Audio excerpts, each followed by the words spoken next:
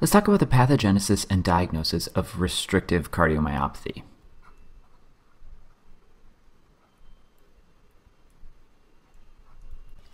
But before I get too far into this, I want to just briefly review some normal cardiac or heart physiology.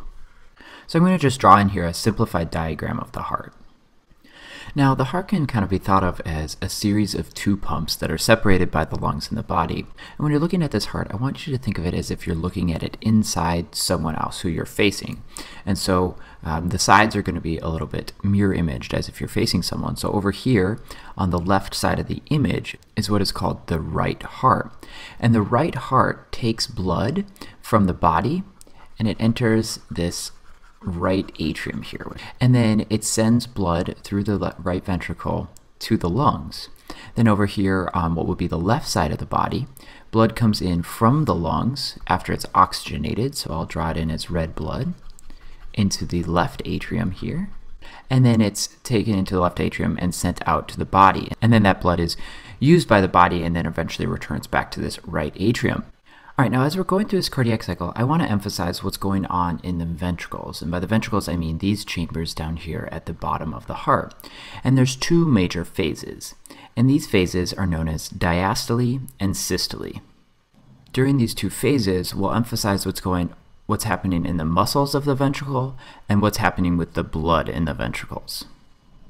And during diastole, the muscle is dilating or relaxing, so write that in here and you can remember D for diastole. And during this time, blood is filling the ventricles. And during systole, the muscles, the muscles are contracting. And this causes blood to eject from the ventricles. And during diastole, these muscles lining the ventricle, the muscle of the heart, um, they relax, and this causes the ventricles to dilate. So let's see that happen. And you can see that as that muscle dilates, it draws blood in from the atria. And then now we'll move to the second phase of the cardiac cycle, which is systole, where the muscles of the ventricle begin to contract. And on the right heart, is going, this blood is going to the lung. And from the left heart, this blood is going out the aorta back to the body. And then after systole, you go right back to diastole, where the muscles relax. And notice here that when the muscles relax, before blood enters the ventricles from the atria, not all of the blood was was ejected from the ventricles. Only about three fourths or so was, and the proportion of blood that was ejected versus the amount that's remaining in the ventricle is known as the ejection fraction. And a normal ejection fraction is between about 50 and 75 percent. All right, so now let's talk about the pathogenesis of restrictive cardiomyopathy. And remember that if you break down the word cardiomyopathy into cardiomyopathy, you can remember that it is a disease, a pathy of the heart, cardio, muscle, myo. So cardiomyopathy is a disease of the heart muscle. So the first step in the pathogenesis of restrictive cardiomyopathy is a problem with the heart muscle. And in restrictive cardiomyopathy, there's kind of two processes that could be going on. The first one is that you could have fibrosis or scarring of this heart muscle. So let's draw that in here so we can. And this fibrosis can be caused by things like radiation from cancer treatment, or it can be idiopathic, meaning that we don't really know exactly what causes this. And the other form of problem of, with the heart muscle in restrictive cardiomyopathy is something known as infiltration. And with infiltration, there's different particles that actually get deposited into the heart muscle. And things this can be caused by things like amyloidosis, in which proteins are deposited in the heart muscle, or sarcoidosis, in which there are granulomas in the heart muscle. This can be caused by inborn errors of metabolism, which I'm going to just abbreviate IEM. And this is a set of genetic diseases in which certain metabolites are deposited here in the heart muscle. And then the last one I want to mention is something called hemochromatosis, which is also a genetic disease in which iron uh, is deposited in the muscle fibers. And it, whether it's fibrosis or infiltration, the physiology is very similar. This heart muscle isn't able to relax. So remember before we had this relaxation of the heart? Well, in restrictive cardiomyopathy, that isn't able to happen the muscle just stays the same size. And so the heart isn't able to fill properly because it's that relaxation of the heart that and during diastole, that dilation that causes filling. So let's just write that in here. And when the heart isn't able to fill properly, even if it contracts and has a normal ejection fraction, you're still going to have a, a, decreased volume of blood exiting the heart.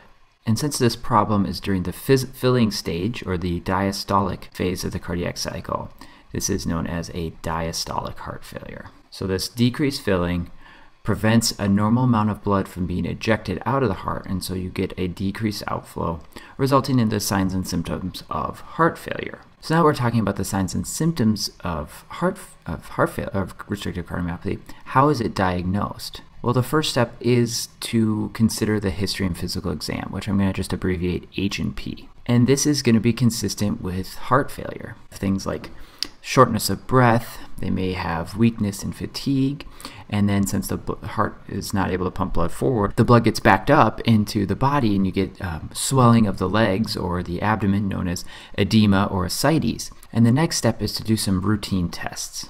And normally in routine tests we think about labs, but there aren't any labs that are specific to restrictive cardiomyopathy. So although a provider may perform labs in the workup of cardiomyopathy, there's none that are really specific to this disease. The next one is a chest x-ray.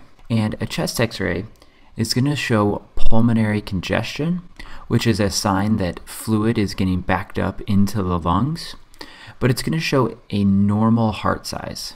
And the reason this is important is because pulmonary congestion is common in other types of heart failure, like ischemic heart failure or dilated cardiomyopathy. But in those conditions, the heart is going to be enlarged. So it's important that you're going to have a, a normal heart size in restrictive cardiomyopathy. And then a provider may also get an electrocardiogram or an ECG, and this is going to show low voltage QRS um, complexes. And now, after some of these routine tests have been done, we'll go on to some more special tests. And the most important of these is the echocardiogram, which is an ultrasound of the heart. And in an echocardiogram, what you're going to see is increased ventricular thickness, which you can kind of appreciate here in this uh, diagram of restrictive cardiomyopathy.